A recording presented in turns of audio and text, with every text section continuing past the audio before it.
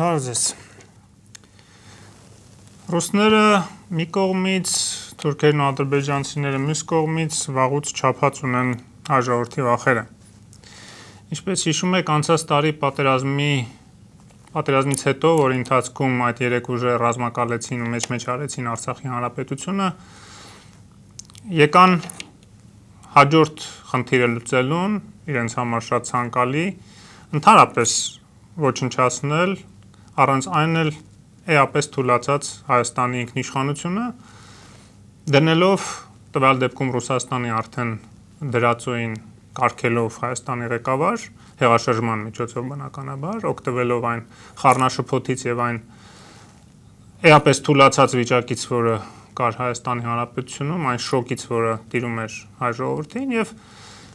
փորձը ձախողվեց Ինչպես հիշում եք, հայ ժողովուրդը բավականին խոհեմ գտնվեց չաջակցելու համար 5-րդ Շարասյան ներկայացուցիչներին եւ առաջի սերիան այս մասով գոնե Հայաստանի ինքնիշխանության մասով ժողովուրդը կարողացավ պատվով տանել եւ հաղթել ըստ էության միջ այդ պարտվելով Արցախում սակայն պլանները Հայաստանի ինքնիշխանության կործանման հյուսիսային մեր այսպես կոչված ռազմավարական դաշնակցի մոտ չեն վերացել բնականաբար եւ մենք այսօր տեսնում ենք parberabar թե ինչպես են փորձում անընդհատ ցնցումների միջոցով Հայաստանը շարունակել թույլաtsնել նույն այդ հյուսիսային հարևանի դերացոններն ու խամաճիկները Հայաստանում հիշում եք չէ անընդհատ պնդումները, ապատեղեկատվությունը, որ ամիսներ շարունակ տարածվում է, որ հեսա, հեսա Սյունիքը հանձնում են, փաստաթղթեր են ստորագրել, Տավուշի կեսը հանձնում են, ուրեմն Սևանի արևելյան ափը հանձնում են, Վայքը հանձնում են, այդ ամեն ինչը չհանձնվեց, հետո սկսեցին քյարքին հեսա հաստատ գիտենք երկու օրից հանձնում են, ամիսներ շարունակ այդ երկու օրը տենց էլ չդարձավ իրականություն, հիմա երբ որ տեսան, որ հայ ժողովուրդը մի տեսակ արդեն հասկանում է, որ իրեն կարող է գժի տեղ են դրել որոշ արտաքին ուժեր եւ նրանց դրածոներ Հայաստանում սկսեցին դա ինչ որ կերպ հիմնավորել այդ ստերը հիմնավորելու համար սկսեցին օգտագործել իրենց պարտներներին հա մեր հյուսիսային գործընկերը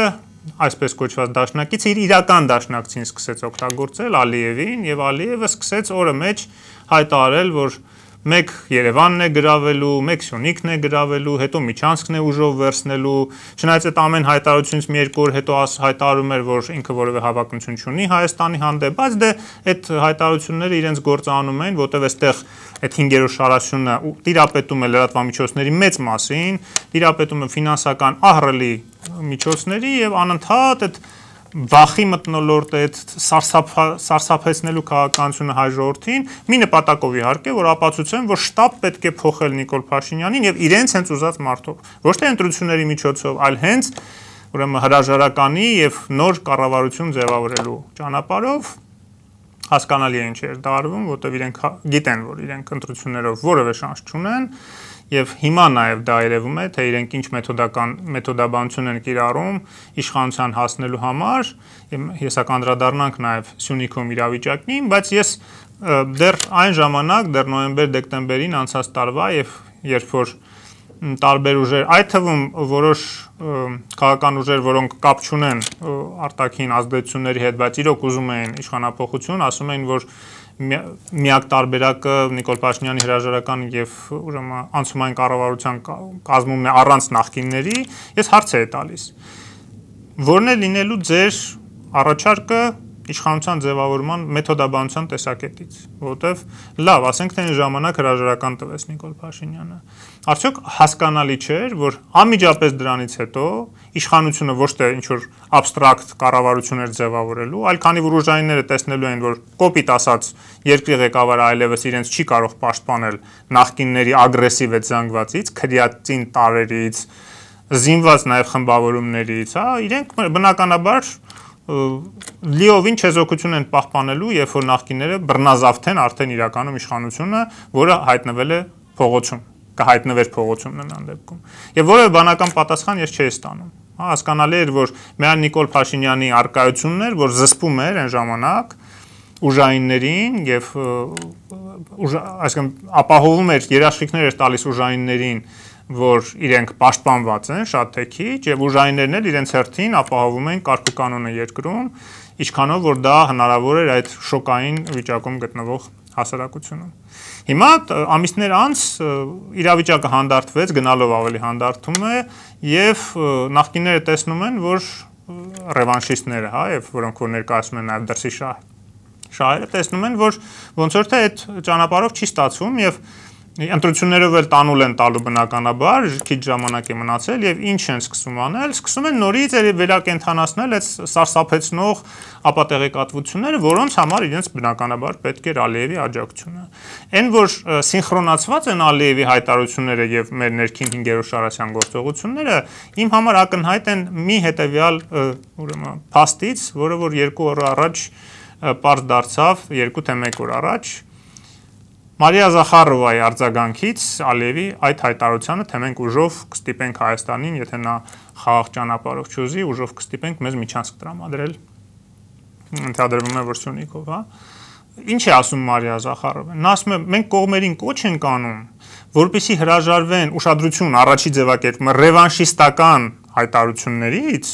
եւ ագրեսիվ իրար հանդեպ ագրեսիվ ուրեմն կոչերի ձևակերպումներից, հա մոտապես sense։ Բայց այդ ռևանշիստական շատ հետաքրքիր է, ով պետք է ռևանշիստական հայտարարություններ աներ։ Նա պարտվող կողմն է, չէ՞, սովորաբար ռևանշի դեպքում, այսինքն առաջի սլաքը ուղղված էր Հայաստանի դեմ։ Դուք հիշում եք որևէ ռևանշիստական հայտարարություն Հայաստանի ղեկավարության կողմից նույնիսկ Հայաստանի ընդդիմությունը նման հայտարարություն, ռևանշիստական որևէ հայտարարություն, այն փողոցում կանգնած ընդդիմությունը հիմնական համենայն դեպս չի անում, ասում է այո, այդ հայտարարությունը ինչ ստորագրվեց, ստորագրվել է, մենք դրա դեմ ոչինչ չենք անելու։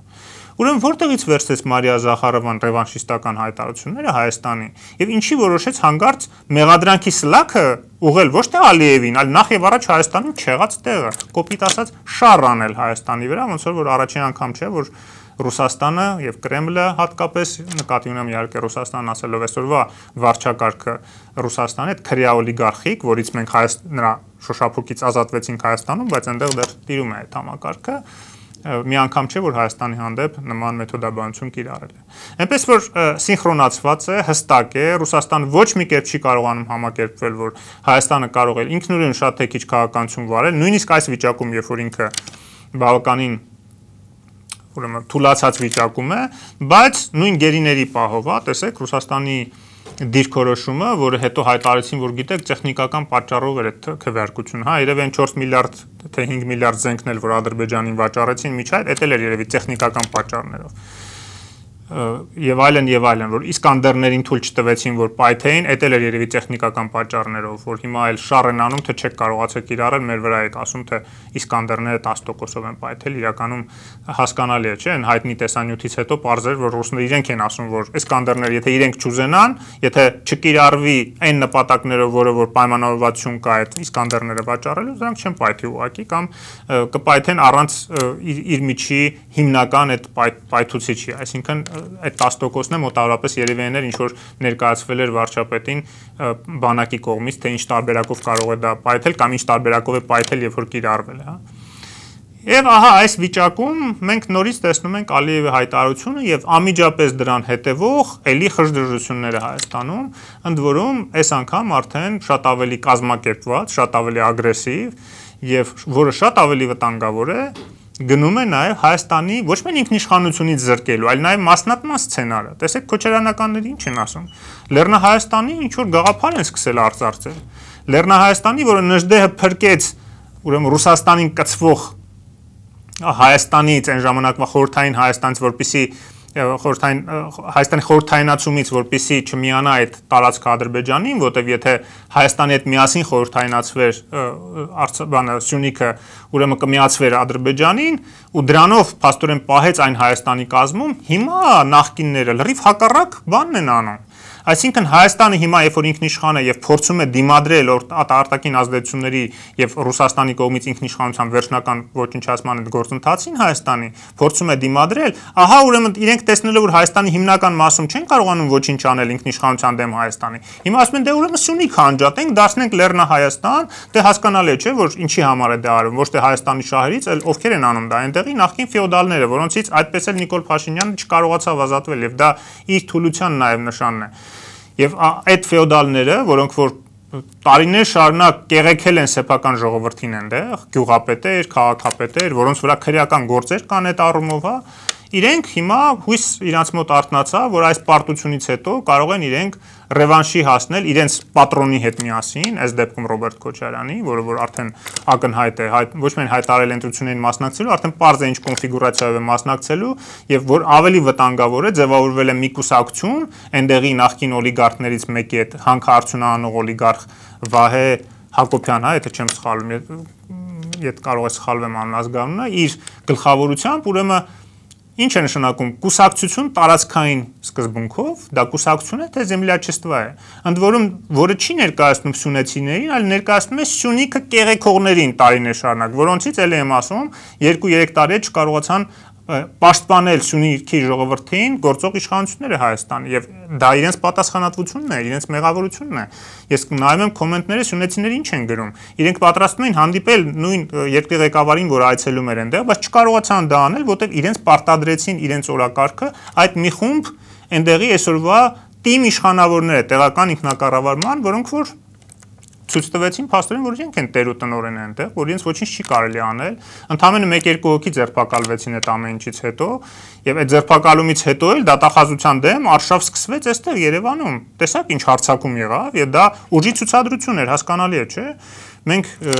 տարիներ շարունակ, երբ որ պայքարում ենք նախքին կոռումպացված եւ ոչ լեգիտիմ ժողովրդի կողմից չընտրված իշխանությունների դեմ երբեք նույնիսկ այն ժամանակ թույլ չենք տալիս ոստիկանության դեմ նման ոտնձգություններ։ Մի անգամ Եղավ 14 թվականին մի դեպք, Էդգար Հակոբյանի դեպքն եմ ուզում հիշեցնեմ, այդ ներողություն Էդգար Արաքելյանի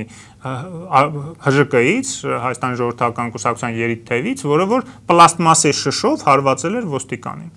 դատարկ պլաստմասե շշով։ Նա նստեց բանտում 2.5 տարի, այդ տղայի մոտ ատամ չէր մնացել են օրին էին գցել ոստիկաներ այն ժամանակ իրեն, այդ բռնելուց հետո, հա, եւ դա այն վերաբերմունքներ, որը որ այդպիսի չնչին արարքի հանդեպ նույն Ռոբերտ Քոչարյանի իշխանությունների ժամանակ կիրառեց։ Այսօր տեսեք հարցակում է ուղիղ տեղի ունենում ոստիկանության վրա, որը ոչ միտեղ ոչ մեկի վրա չէր հարցակվում՝ ի տարբերություն 14 թվի, որը որ հարցակվել էր ժողովրդի վրա, փողոցը փակած, հա, այլ պաշտպանում էր դատախազության շենքը եւ այդ հարցակումը որ տեղի ունեցավ մենք տեսանք նույնիսկ ոստիկան տուժեց Եվ դա ինչ է նշանակում։ Նախ դրթապաճառը միայն այդ մի քանի հոգու ձերբակալումը չէր Սյունիքում, այլ դրթապաճառ Ռոբերտ Քոչարյանի հանդեպ գործի վերավորակավորման նոր ընթացք տալու մեջ էր իհարկե, որը դրա նախորդ օրն էր տեղի ունեցել, պաշտոնական հայտարարություն դատախազության եղավ։ Եւ դա ուժի ցուցադրություն էր եւ հատկապես ճնշում էր դատախազության վրա ցույց տալու համար, որ իրենք, այսինքն այդ քրեական տարերով, այդ ծայրահեղականներով, հա, այդ ռևանշիստներով իրենք են տիրապետում իրավիճակը եւ եթե Նիկոլ Փաշինյանը միջոցներ չձեռնարկի եւ հաստատի, որ այո, իրենք են տիրապետում իրավիճակը, ոչ միայն Սունիքում արդեն եւ ոչ միայն Սունիքի ժողովրդին է պետք ազատել իրենցից, այլ նաեւ ամբողջ Հայաստանում, ուրեմն ես հավաստիացնում եմ, որ միջև կամ ինքը կկորցնի ընտրությունների միջև ընտրությունները կկորցնի իշխանությունը միջև ընտրությունները եւ Հայաստանը քաոսի մեջ կընկնի ուղակի կամ ընտրությունների ժամանակ այլ ուժեր ուղակի կփոխարինեն Նիկոլ Փաշինյան այնպիսի ուժեր, որոնք կկարողանան կարգուկանոն հաստատել երկրում եւ թույլ չտալ ռևանշիստներին գալ իշխանության։ Այդպիսի ուժեր բարեբախտաբար կան եւ ժողովուրդը եթե տեսնի, որ այդքան քաղաքական կամք եւ այդքան ուժ չունի այս գործող իշխանությունը դեմն առնելու նախքին թալանչիների էլի վերադարձին եւ երկիրը նորից կեղեքելու նոր գործընթաց սկսելուն, ել չեմ ասում ինքնիշխանությունը զրոյացնելուն եւ լրիվ կցոր դարձնելու գուբերնիա դարձնելու Ռուսաստանի, ոնց որ Ռոբերտ Քոչյանը չել ཐակցնում, ավելի խորը ինտեգրում Ռուսաստանի հետ, այսինքն դա ինչ է նշանակում։ Բազմիցս ասել ենք, որ սրանից ավելի խորը դա միայն գուբերնիան է, ուրիշ ձև էլ չկա, այլ պայմանագրի ու փաստաթղթի էլ տեսակ չմնաց, որ Հայաստանը չստորագրեր Սերժ Սարգսյանի ու Ռոբերտ Քոչյանի օրոք, սեփականություն չմնաց, որ Հայաստանը չնվիրեր ռուսներին ինչ որ չնչին գրոշների պարտքերի դիմաց, հա, այն դեպքում, երբ որ 100 միլիարդներով Ռուսաստանը մոնղոլիաներին, նիգերիաներին, այդ թվում ԱՊՀ մյուս բոլոր երկրներին ներում էր այդ պարտքերը, բայց չգիտես ինչի Ռոբերտ Քոչյանը չէր ներում, որտեղ Ռոբերտ Քոչյանը շատ մտերիմ ընկերն էր Պուտինին, ընկերոջը չի կարելի որ թույլ տալ, որ իրեն այդպիսի պարտքեր ների։ Հայաստանը թող տուժի, ոչինչ, բայց իրենց ընկերությունը կշահի, իրենց ընկերության հաշվին այդ ամբողջ ձեռնարկությունները 100 միլիոնի դիմաց հեկերով, ջեկերով, այդ ամեն ինչով տրվեց ուրեմն Ռուսաստանի Սերժ Սարգսյանն դա շարունակեց գազի դիմաց, գազի գինը չբարձրացնելու դիմաց, որ կարող է բանակցել եւ որպես դաշնակից պնդել այդ չբարձրացումը, գազային ենթակառույցները տվեց եւ ավելի վատ մի հատ էլ կաբալային պայմանագրի մեջ մցրեց Հայաստանը, որով Գազպրոմը լիովին տիրապետում է ոչ միայն Հայաստանի գազային ցանցերին, այլ նույնիսկ Հայաստանի իրավունքներին այլ գազային պայմանագրեր կնքելու այլ երկրների հետ։ Ուղղակի արգելափակված է Հայաստանը այսօր ուզենալ չի կարողանա, չի կարողանա ուրեմն Իրանից գազ գնել։ Ահա այս վիճակում մենք տեսնում ենք, որ ուժային բևեր է ձևավորվում նախքին բոլոր այն նախքինների, իսկ դրանք քիչ չեն, այդ նախքինները հոմենակ այդ նախքինների վերնախավը չէ, որ ամենաշատն էր օգտվում այդ գողունից, ցանցագողությունից, որ օր-օրի անդադ բացահայտումներ ենք տեսնում, հա, ոնց են կլպել ուղակի բյուջեն ու մարդկանց գրպանն են բառացի մտել, այլ նաև այն մի խավ կա, մի քանի հազար հոկանոց խավ կա, որը որ օգտվել է այդ ամեն ինչից։ Քիչ միջ ստեղից ընդեղից իրանցել է հասել այդ վերևներից, այդ թալանից, իրենք դե սпасարկել են, չէ, ընտրակեղծարությամբ են զբաղվել, ընտրություններ են կեղծել, նաև համակարգ են ստեղծել, ստեղծել իշխանությունը փոխանցման այսպես կոչված այդ կաշառատուների մի հատ համակարգ են ստեղծել վստահելի համակարգ, որը որ անխափան կգործեր եւ այդ կաշառքների բուրգը վերև կհասցնի։ Այ այդ բոլորը հիմա ակտիվացել են, հիմա հույս հույսերը առաջացել են նորից իրենց մոտ վերածնվել են հույսերը, որ կարող են վերականգնել են ամեն ինչը, ոչինչ որ այդ ամեն ինչի արդյունքում Հայաստանը պարտվեց պատերազմում, ոչինչ որ այդ ամեն ինչի արդյունքում էր բանակը այսօրի հասել թուլացել, ոչինչ որ դրա պատճառով բավարար գումար չունենք զեն գնելու, իսկ միջև էտել հենց այդպիսի մոտեցումներ ունեցող ղեկավարներ ունենալու արդյունքում ռազմարտունաբերություն չձևավորեցին 20 տարի։ Այդ ոչինչ այդ բոլորը։ Կարևորը որ իրանք բադեն-բադեններում շարունակեն գնան իրենց լվացքները անել, հա, այդ փողերի լվացումը եւ իրենց գլուխները լվանան Բադեն-Բադենի սաունաներում եւ ուրիշ տեղեր։ Այդ դա այ դա է կարևոր։ Կղզիներ առնելը, կղզիներում սեփականություն ձեռ բերելը հունական, այ դա է կարևոր։ Այռուցներ խփելն է Աֆրիկաներում կարևոր, ոչ թե այն զինվորները, որոնց կյանքը պետք է պաշտպանել հատուկ միջոցներով համապատասխան զինատեսակները, որոնք զոհվեցին նաև դրա բացակայության պատճառով, դա չի իրենց հետ արկրում։ Այսօր իրենք ճամարտակում են հայրենասիրությունից։ Այսօր իրենք խոսում են Սյունիքից, սուտ-սուտ բաներ են տարածում, բա Սյունիքը տվեցին, միջանց կտվեցին, հեսա կասեն էլի փաստաթուղթ կա, մենք գիտենք, ոնց որ էլի մի քանի իրենց խեղկատակներ հայտարարում են, հայ տարբեր ամբիոններից վերջը տենցել դե փաստաթղթերը չտեսանք, թե որ դե Սյունիքը հանձնելու փաստաթղթերը կամ Տավուշը հանձնելու փաստաթղթերը։ Շատ վտանգավոր շեմին ենք հայտնվել եւ ես կարծում եմ, որ իրոք այսօր լուրջ վտանգ կա եւ եթե ես միջև մա մտածում եմ, որ կա որոշակի օգտվելու էլեմենտ, հա, գործող իշխանության կողմից, որը հասկանում է, որ ինչքան ակտիվանում է Ռոբերտ Քոչարյանը եւ նախկինները, այնքան ժողովուրդը ավելի է կոնսոլիդացվում իր շուրջ, հասկանալով, որ սրանք ավելի վտանգավոր են եւ այդ այդպես փրկում է փաստորեն Ռոբերտ Քոչյանը Նիկոլ Փաշինյանին, բայց ես հիմա տեսնում եմ, որ այդ խաղը, եթե նույնիսկ կա, շատ վտանգավոր տեղ կարող է տանել եւ ի օգուտ ժողովրդի չի ավարտվելու հաստատ, եթե այսպես շարունակվի։ Ինչքան էլ փորձ են անում արդեն իշխանությունները դատական համակարգը կարգի բերել ինչ որ ձևով ԲԴԽ-ում կարգ ու կանոն հաստատելու, այնքան դանդա է այդ ամեն ինչը ընթանում եւ այնքան թույլիկ քայլեր են արվում այդ ամեն ինչի ուղղությամբ եւ այնքան անպատիժ են մնում նաեւ իշխանության պետության հանդեպ ոտնձգություն գործողները ինչ են շնակում ոստիկանության վրա հարցակվեն ընդ որում սա թալանչիների կոռումպացվածների ոստիկանները չեն սա ավտորիտար պետության չընտրված իշխանությունը գողացած բռնացավտված իշխանությունների ոստիկանությունը չի, սա ժողովրդի ընտրած պետության, ժողովրդի ընտրած իշխանության ոստիկանությունն է, եւ այդ ոստիկանության վրա հարցակում է արվում, ոստիկանները տուժում են եւ ելի ոչ մի արդյունք չենք տես, ոչ մեկ չի պատժվում։ Հա, մի քանի հոգի բերման ենթարկեցին, հեսա բաց կթողեն։ Եթե այսպես պետք է շարունակի իշխանությունը կարգ ու կանոն հաստատելու գործը ձախողելը, ոչ միայն իրենք կարող են տանուլ տալ իշխանությունը, երկիրը կարող է տանուլ գնալ Այնպես որ լրջանալու իրոք պահ է եւ ես կարծում եմ, որ նաեւ այն ուժերը, որոնք այսօր հայտ են ներկայացնել երկրում իշխանություն ձևավորելու, կակտիվանան, ես նկատի ունեմ այն առողջ ուժերը, որոնք որ չեն ներկայացնում ոչ այս թույլ իշխանություններին, ոչ էլ են նախկիններին, եւ այդ ուժերը կկարողանան որոշակի քայլեր ձեռնարկելու միջոցով, հույս ունեմ նաեւ կոնսոլիդացիա միանալու միջոցով կանխել այս խայտարակ հետևանքները, որ կարող ունենալ եւ որի անվանումը մի բառով կարելի է տալ Հայաստանի Սիրիացում, որտեղ մասնատելը, տեսեք ինչ Սիրիայում տեղի ունեցավ։ Տեղի ունեցավ այն, որ Թուրքիան եւ Ռուսաստանը օգտագործելով էլի ներքին այդ խժդժությունները, ներքին ուրեմն տարբեր իսլամիստ ծայրահեղականների ուրեմն ակտիվացումը մի կողմից իսլամիստներ, մի կողմից ազգայնականներ, տարբեր ինչ որ խմբավորումներ սկսեցին տուրը դմփոց մի հատ մեծ եւ արդյունքում Սիրիան վերածեց մի մեծ ռազմադաշտի, քաղաքացիական պատերազմի, որտեղ որ այլևս ապրել ընդհանրապես հնարավոր չի, բնակության կեսը արտագաղթել է տարբեր տեղերում է ապրում, դա բարեկեցիկ Սիրիայի մասին է խոսքը, որը որ ամենահարուստ երկրներից մեկն էր տարածաշրջանի, բավականին զարգացած Եվ նույնը փաստորեն այսօր հիմա փորձ է փորձ է անում անել Հայաստանում իշխանությունը հնարավորություն տալիս է ընտրությունների միջոցով փոխել իրեն, եթե ուզում եք, բայց քանի որ այս ռևանշիստները գիտեն, որ դա հնարավոր չի, ընտրել են սիրիացման ճանապարհը, այսինքն խժդեժություններ, ապակայունացում սերմանելու, տարածքային մասնատում իրականացնելու, թե բա Լեռնա Հայաստան, հա, Սյունեցիները ես կարծում եմ պետք է պատասխանեն սրան։ Սյունեցիները իրենց ձայնը պետք է բարձրացնեն եւ այդ ֆեոդալներին իրենք քշեն։ Լավ, կենտրոնական իշխանությունը այդ ուժը չունի, սյունեցիները իրենք դա պետք է անեն։ Կամ իրենք ուրեմն պետք է հասկանան հետևանքները, թե ինչի այս ամեն ինչը կարող է բերել։ Ես կարծում եմ, որ լրջախոհությունը եւ խոհեմությունը մեր ժողովրդի այդ հմսյունեցիների կբավարարի եւ նաեւ վճռականությունը թույլ չտալու, որպեսզի Ռոբերտ Քոչարյանը Հայաստանը վերածի Սիրիայի։ Մենք Սիրիա դարձնելու հայրենիք չունենք։ Հուսով եմ, որ այդպես էլ կլինի։ Շնորհակալություն կհանդիպենք։